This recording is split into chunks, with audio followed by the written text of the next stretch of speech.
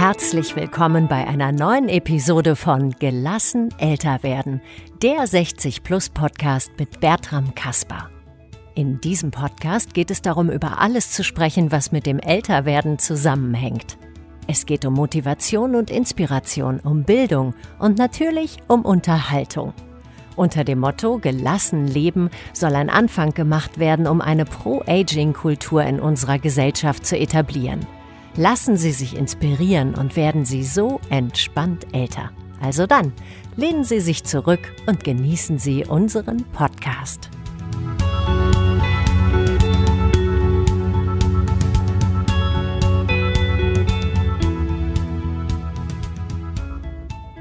Ja, manchmal kommt es anders, als man denkt. In meiner letzten Episode habe ich noch davon gesprochen, dass dies wohl die letzte Einzelepisode für eine gewisse Zeit geben wird. Und heute Nacht ist mir die Idee für eine weitere Episode gekommen, die ich gerne alleine bestreiten möchte. Ich habe mich nämlich gefragt, ab wann sind wir eigentlich alt oder ab wann ist man eigentlich alt? Und als Ausgangspunkt für die Auseinandersetzung mit dieser Frage habe ich mir gedacht, es könnte doch spannend sein, einmal eine Reise in die Vergangenheit zu machen und sich seine ganz eigenen persönlichen Geschichten und Erfahrungen mit älteren Menschen zu vergegenwärtigen.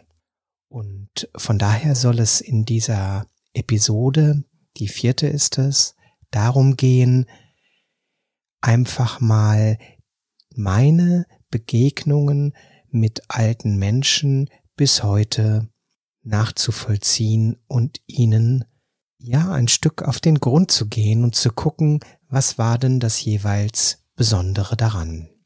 Ich habe mich entschieden, das chronologisch zu tun, also ich werde sozusagen bei meiner Kindheit anfangen und werde dann in die ja Gegenwart gehen, so will ich das mal sagen.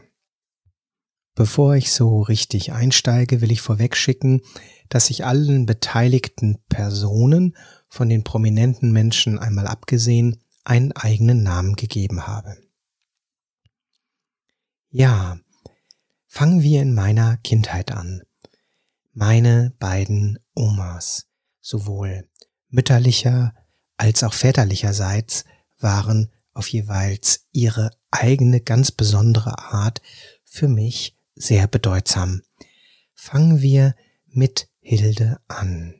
Hilde habe ich schon als ja kleiner Junge mit acht, neun Jahren als eine ganz zugewandte, sensible Frau erlebt, die immer ein gutes Wort für mich hatte, die und daran erinnere ich mich besonders stark, mir jeden Abend, wenn ich sie besucht habe, und das war in der Regel so, dass ich sie ja mehrere Tage besucht habe, weil sie weiter von uns weggelebt hat.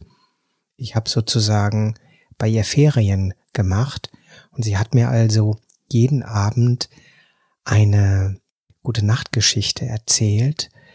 In der Regel war es ein Märchen und das hat sie in der Tat vollkommen auswendig gemacht. Oder ja, ich habe zumindest gedacht, sie macht es auswendig, aber ich glaube, sie hat einfach ein Riesenreservoir an Märchen gehabt, die sie erzählen konnte. Und genau, ich habe gesagt, sie war so feinfühlig und sensibel, sie hatte immer ein gutes Wort für mich. Und als ich dann älter wurde wurde sie so etwas wie meine Vertraute. Ich habe also viele Dinge, die mich während meiner Pubertät oder auch noch im jungen Erwachsenensein stark beschäftigt haben, mit denen ich mich auseinandergesetzt habe. Diese habe ich mit ihr besprochen, um mir auch ihre Meinung abzuholen, um mir einen Rat zu holen, um ja zu sehen, was sie mit ihrer und mir ging es wirklich so mit ihrer Lebensweisheit, mit ihrer Erfahrung, was sie mir dazu zu sagen hatte. Sie war also eine echte Vertraute, eine Gesprächspartnerin, mit der ich wirklich tiefe Gespräche führen konnte und das noch von ihr ausgehend bis ins hohe Alter. Genau, und ich bin immer sehr gerne zu ihr gefahren, weil ich wusste, dass das ganz intensive und besondere Begegnungen geben wird. Und natürlich bin ich immer schon irgendwie auch ein offener Typ gewesen und habe gern auch über die Dinge, die mich beschäftigen, erzählt, aber mit ihr war das nochmal ein ganz besonderes Verhältnis. Und die Episode heißt ja, ab wann ist man alt? Ich habe sie quasi natürlich von ihrem Aussehen als alt, als älter wahrgenommen. Sie hatte graue Haare, Altersflecken, ihre Haut war an manchen Stellen fast durchsichtig. Sie hatte Falten, sie war und wurde immer langsamer in vieler Hinsicht, aber sie war noch genauso rege und geistig da, wie ich sie als junge Frau oder als jüngere Frau wahrgenommen habe. Und ich habe quasi für mich nicht im Vordergrund das Alter von ihr gesehen, sondern ich habe im Vordergrund gesehen die Beziehung, die ich zu ihr habe und die Resonanz zwischen uns. Und davon gab es reichlich. Ja, das ist irgendwie gerade, merke ich, spannend, so da wirklich reinzugehen.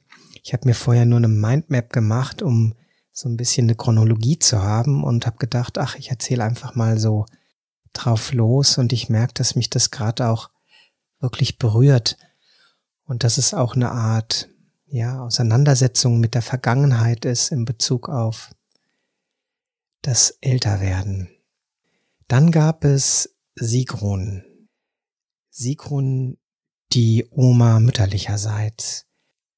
Sie war ja so eine ganz bodenständige, klare, einfache Frau. Und ich mochte einfach ihre Berliner Schnauze. Ich mochte, dass sie so grad raus war. Ich mochte ihre Einfachheit und was ich auch mochte und das soll wirklich nicht despektierlich klingen. Ich mochte auch so sehr, wie sie gekocht hat. Und sie hat so ganz anders gekocht, als ich das aus meiner Familie mit meinen Eltern kannte. Sie hat wirklich gut bürgerlich gekocht.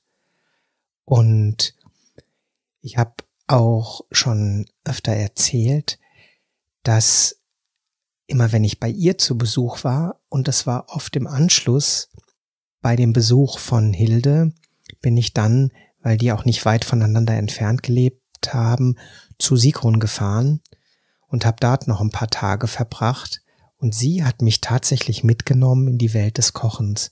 Und sie hat mir all ihre Tricks verraten, wie man wirklich richtig gut, gut bürgerliche Küche kocht. Genau, und ich habe schon öfter erzählt, das war der Ausgangspunkt meines Gedankens, wie toll sie Rouladen kochen konnte. So richtig echte deutsche Rouladen mit Senf und Speck und Zwiebeln und sauren Gurken und dann eingerollt und gut gekocht und lange gekocht, so dass sie wirklich auch ja entsprechend weich und ja zart waren und das alles so ganz gut wirklich gemundet hat. Und dazu hat sie gemacht in der Regel Rotkohl und Kartoffeln und das eben auch entsprechend frisch. Ja, und ich habe das einfach geliebt, Rotkohl, Rouladen und Kartoffeln zu essen.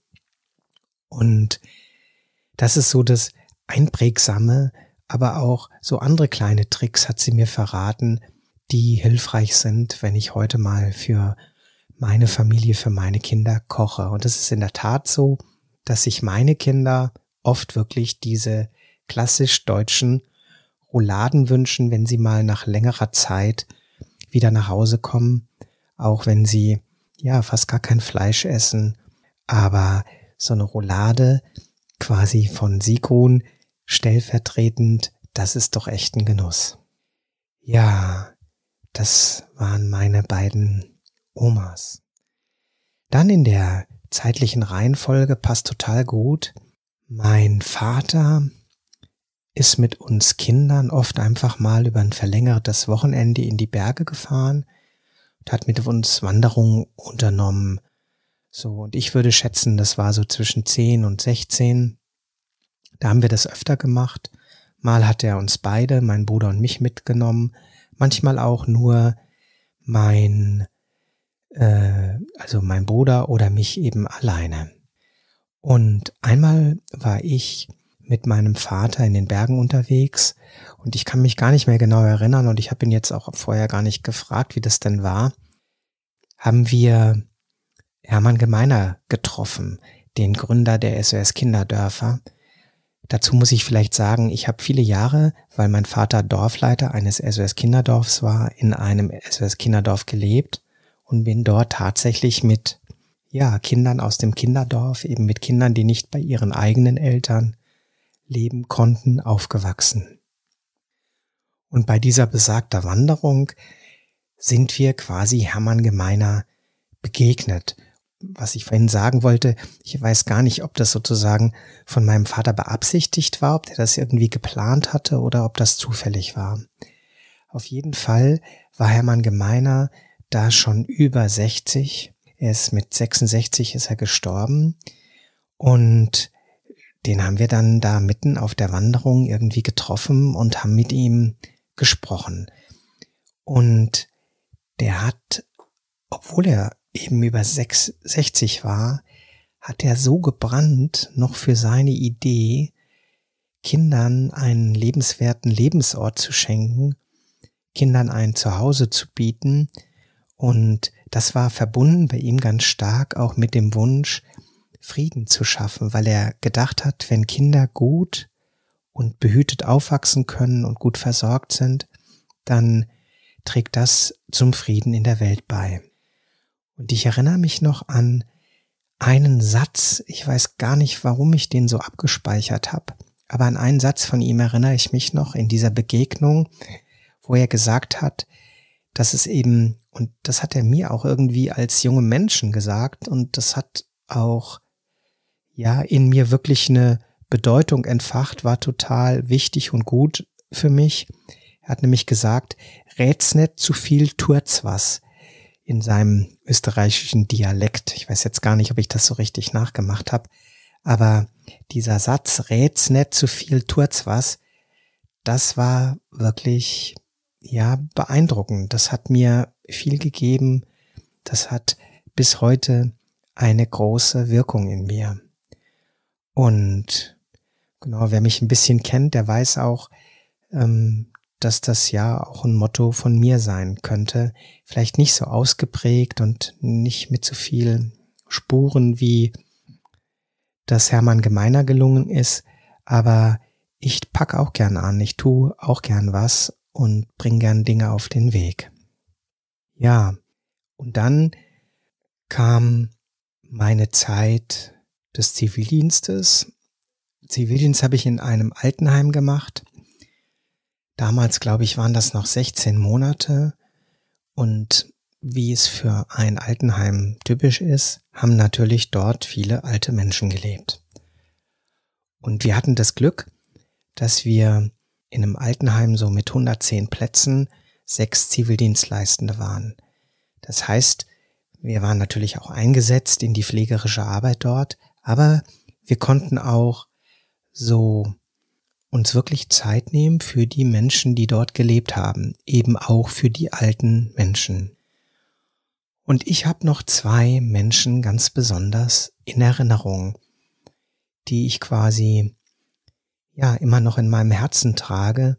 Von einem habe ich sogar immer noch ein Bild, was er mir zum Abschied geschenkt hat. Und zwar ist der eine von den beiden der Reinhold.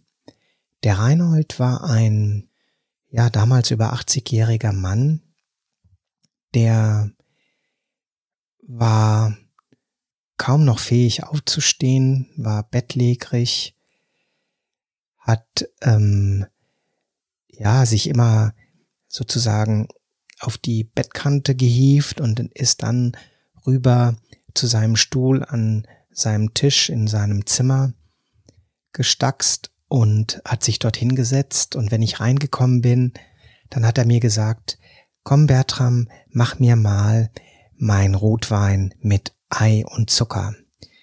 Und dann habe ich gesagt, klar, Reinhold, mache ich dir. Und zwar war das ganz unabhängig von der Uhrzeit.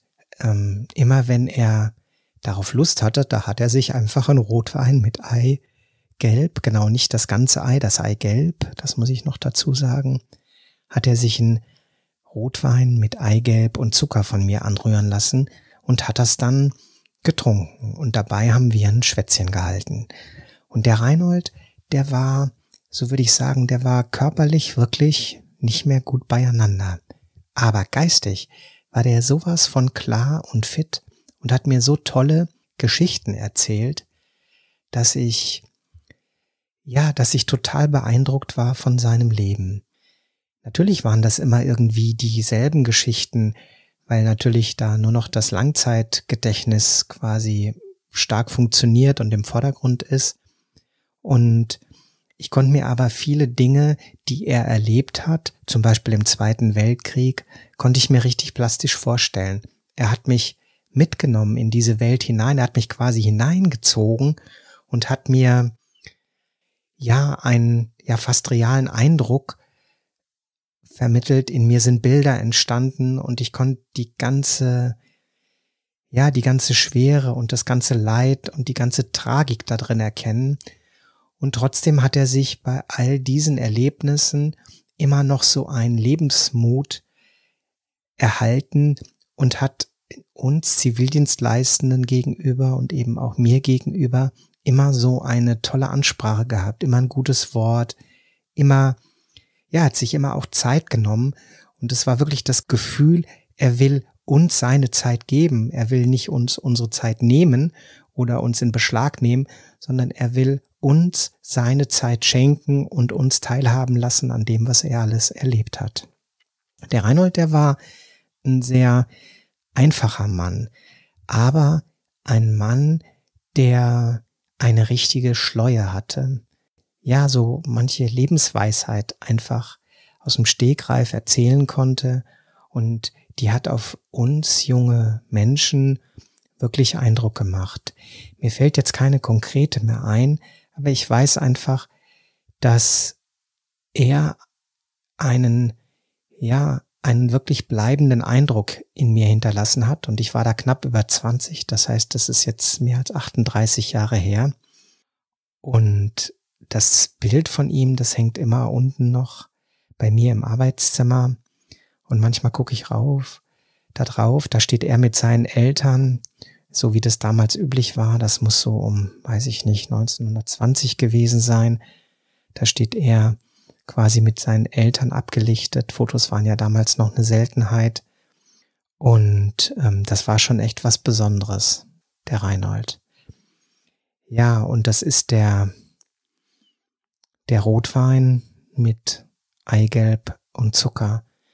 Dabei fällt mir ein, ich habe das dann auch hm, ja irgendwann auch angefangen zu trinken und ich fand das gar nicht so übel. Zuerst habe ich immer gedacht, oh Gott, oh Gott. Und ähm, ja, ich habe es aber auch lange nicht mehr getrunken. Genau, das war der Reinhold. Und dann gab's noch den Karl. Karl war 92. Und Karl war, wie soll ich sagen, hatte phasenweise wirklich eine, eine starke Demenz und wusste nicht mehr, wo er ist, wer er ist. Also er hatte so Aussetzer. Und dann war er aber auch wieder dazwischen total klar. Und der Karl, und das ist das Besondere, der war auf demselben Kriegsschiff wie mein Opa und zwar im Ersten Weltkrieg. Das heißt, die waren da wirklich kleine Jungs. Also Jugendliche. Und der wusste sogar, weil er Offizier dort war, in der niedrigsten Laufbahn, dass mein Opa dort, der hat sich sogar noch an den Namen erinnert, Maschinist auf demselben Kriegsschiff war wie er und dass ihnen beiden gelungen ist, sich rechtzeitig versetzen zu lassen, denn ein paar Wochen später ist dieses Kriegsschiff quasi attackiert worden und fast alle Matrosen an Bord sind dabei umgekommen. Also die beiden haben es quasi irgendwie noch von diesem Schiff geschafft. Und allein das stellte schon mal eine totale Verbindung her. Dadurch war er mir total nah und auch jemand ganz Besonderes. Und der Karl war auch ein sehr intelligenter Mann, gebildet, kulturell interessiert und er konnte ja begnadet ähm, Klavier spielen. Und wir hatten in der Tat in dem Altenheim ganz oben unterm Dach ein Zimmer mit einem Klavier. Und dann habe ich die Oberschwester Erna gefragt, die damals übrigens auch schon fast 60 war, gefragt, ob ich mit Karl eben mal wieder hochgehen kann und Klavier spielen kann. Und das habe ich besonders getan in Phasen, wo er ja besonders dement war und bin mit ihm dann hochgegangen und er hat sich an dieses Klavier gesetzt und hat vollkommen auswendig die tollsten Stücke gespielt mit einer agilen Bewegung in seinen Händen und in seinen Fingern und das mit 92 Jahren, dass ich so beeindruckt war und gedacht habe, hey, das kann doch kein 92-jähriger Mann sein. Wo nimmt der das her? Wo kommt dieses Feuer, diese Energie, diese Lust am Spielen, diese Freude an der Musik her. Und das Spannende war, dass immer, wenn er eine Weile gespielt hat, wurde er klarer. Wenn er dann eine Pause gemacht hat und wir haben gesprochen, dann habe ich gedacht, es ist wieder genau der Karl zu der Zeit, wo er wahrscheinlich als jüngerer Mensch viel Klavier gespielt hat, viel geübt hat, vielleicht Konzerte gegeben hat, das weiß ich alles nicht genau. Da hat er nie drüber gesprochen. Er kam wirklich in Kontakt wieder mit seiner Vergangenheit und hat sich irgendwie durch das Klavierspielen zurückgebeamt und wurde dadurch auch tatsächlich klarer. Das war der Karl. Also, der war 92, aber beim Klavierspielen, genau, und dann fällt mir noch ein, was er auch total klasse konnte, konnte die ganzen deutschen Dichter rezitieren. Er wusste von Brentano, von Goethe und von Schiller, von den ganzen Großen, hat er so viele tolle Texte präsent gehabt und konnte die quasi frei rezitieren und uns daran teilhaben lassen, so dass wir manchmal auch im Kreis wirklich mit mehreren dort saßen und haben uns von ihm begeistern lassen. Ich habe damals übrigens durch ihn, durch Karl, meine Liebe für Brentano entdeckt.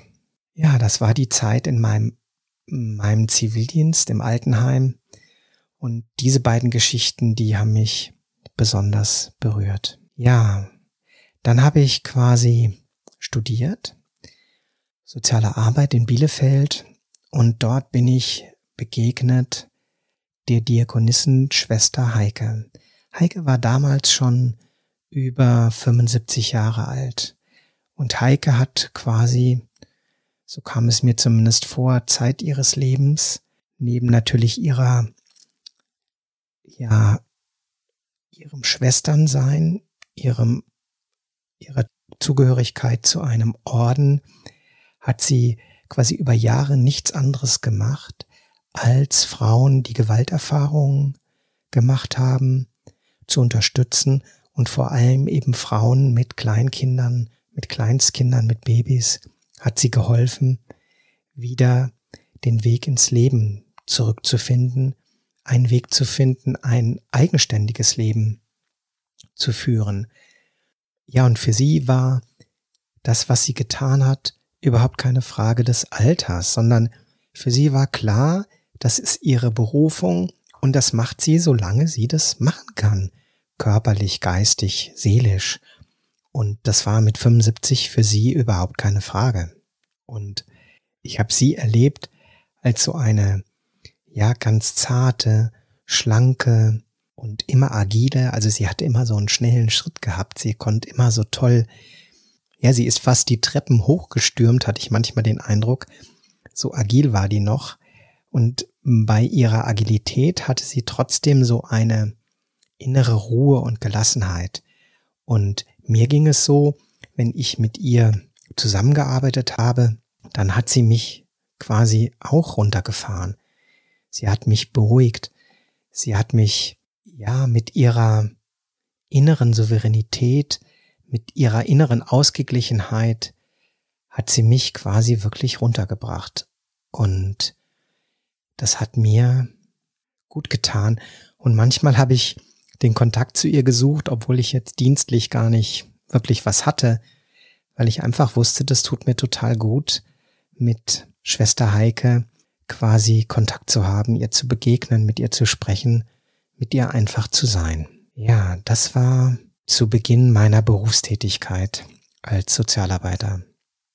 Und dann erinnere ich mich noch an eine Wanderung, die ich mit einem sehr guten Freund gemacht habe, mit dem ich immer versuche, ja einmal im Jahr wirklich wandern zu gehen. Und damals haben wir gerade die Gegend um Füssen erkundet und waren, glaube ich, über die österreichische Grenze gefahren nach Leutkirch, wenn ich mich nicht irre. Bin da nicht so gut, was die Orte angeht. Aber da sind wir quasi auf einen Berg gegangen, der so 2100 Meter hoch war. Und wir mussten irgendwann, als wir schon ziemlich oben waren, einen langen Grat überschreiten. Der war so auf 1900 Meter Höhe. Der war jetzt gar nicht so schwierig, aber es ging bewachsen mit Sträuchern und Gras links und rechts wirklich, ja, 100, 120 Meter steil bergab.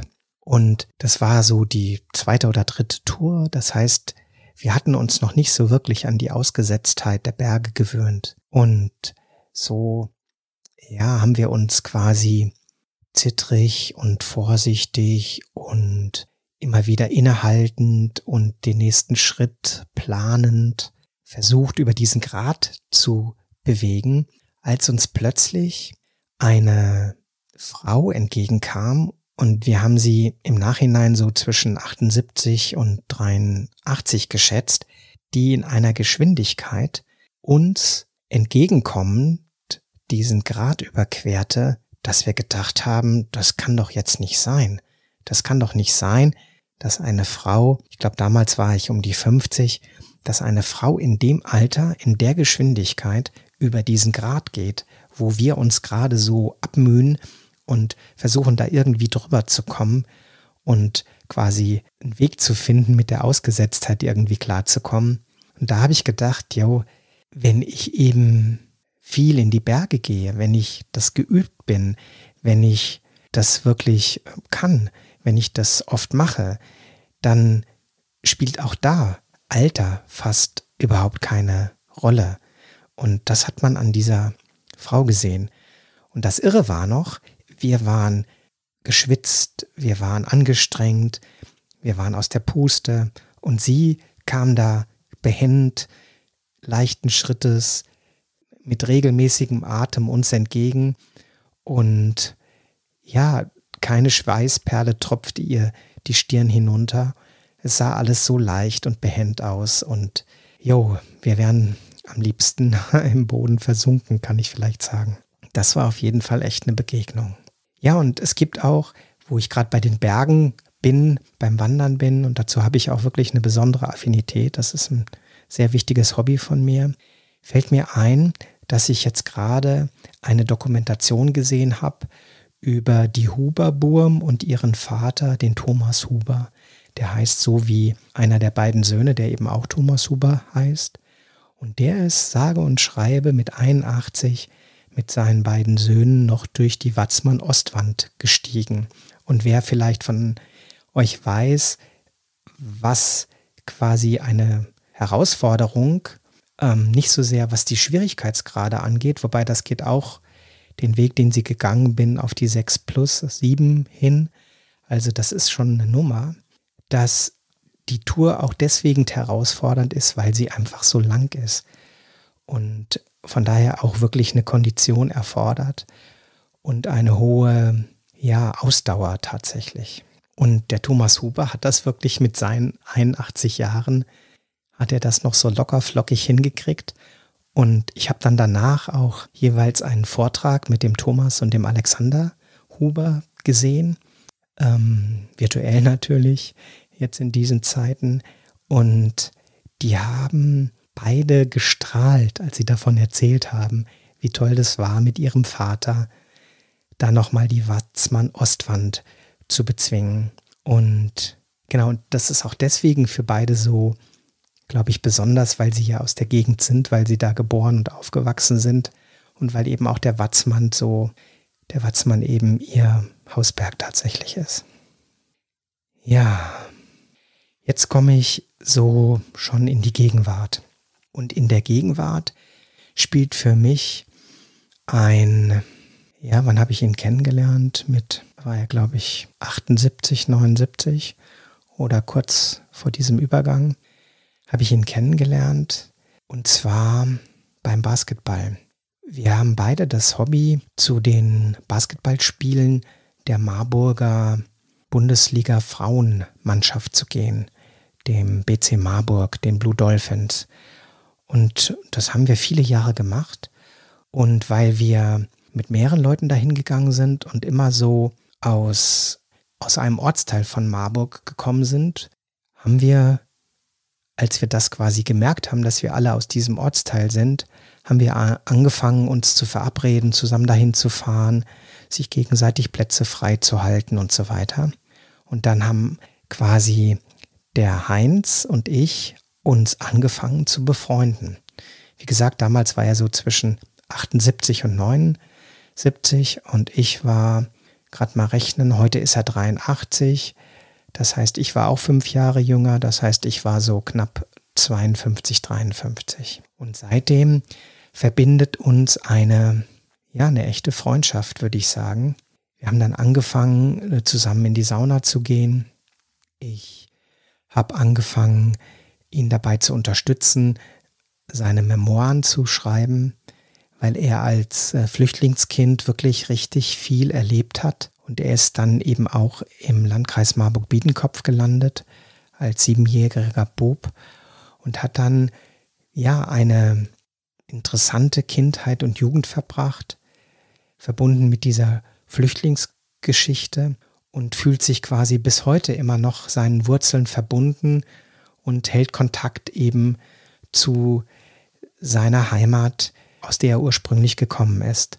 Gleichzeitig hat er aber, als er dann sein, seine Heimat hier gefunden hat und auch ein Haus gebaut hat, hat er ganz viel getan, sich einzubringen in die Gemeinschaft, hat, er ist Bauingenieur, hat quasi wirklich, ja, wie soll ich sagen, ähm, größere Projekte hier realisiert, hat sein Know-how da zur Verfügung gestellt, hat Anlagen geplant, hat sich in der Politik eingebracht in dem Ort und hat quasi das, was er richtig, richtig gut kann, nämlich auf Leute zugehen, Leute zu gewinnen, mit Leuten in Kontakt zu treten. Ja, er erzählt manchmal so Dinger, dass er einfach quasi ja jemanden anspricht, den er beim Einkaufen trifft und dann entsteht ein Gespräch und sofort ist ein intensiverer Kontakt da. Da hat er wirklich die Fähigkeit, das so ganz leicht herzustellen. Und so ist er, wie sagt man, so ein richtig bunter Hund, den auch jeder kennt und er kennt eben auch jeden. Und das ist so irre, wenn ich dann mich mit ihm in der Stadt bewege zum Beispiel oder wenn ich mit ihm zu einer Veranstaltung gehe, das hört gar nicht auf, dass er von dort und da gegrüßt wird, dass er da ein Schwätzchen hält und dass er von dem angesprochen wird. Also überall ist er irgendwie bekannt. Und natürlich auch bei ihm sieht man, dass er 83 ist.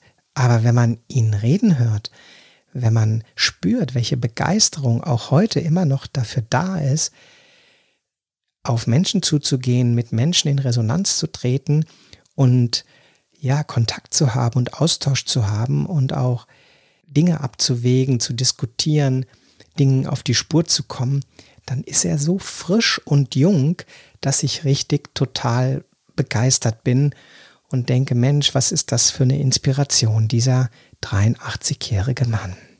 Also, ab wann ist man alt? Ab wann bin ich alt? Und was ich so aus meinen Geschichten in der Auseinandersetzung, in der Selbstreflexion quasi für mich rausziehe, ist, dass ich natürlich älter werde, dass ich auch, wie soll ich sagen, das wahrnehme an körperlichen Veränderungen bei mir und dass ich das natürlich auch an anderen Menschen wahrnehme, wie sie tatsächlich älter werden. Doch es ist doch auch so, dass wenn ich genau hingucke, wenn ich mir einen Moment Zeit nehme und mich wirklich einlasse auf mein Gegenüber, auf den in Anführungsstrichen alten Menschen, dann habe ich eine große Chance, und das steckt wirklich in all meinen Geschichten, dann habe ich eine große Chance, noch was richtig Jugendliches, noch was richtig Dynamisches, Agiles, was Besonderes zu entdecken, was eben genau diesen Mensch ausmacht und was auch, und das ist oft so, ist mein Eindruck, ihn zeitlebens ausgemacht hat. Das heißt, das lässt sich sozusagen durch das Älterwerden auch gar nicht relativieren, gar nicht, ja, wie soll ich sagen, wegmachen. Das ist immer noch da.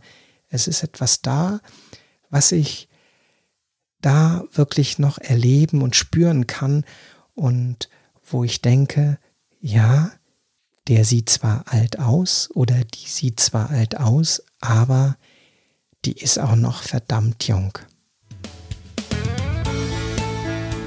Herzlichen Dank fürs Zuhören. Das war's heute auch schon mit dem Hörmagazin für Menschen in der dritten Lebensphase.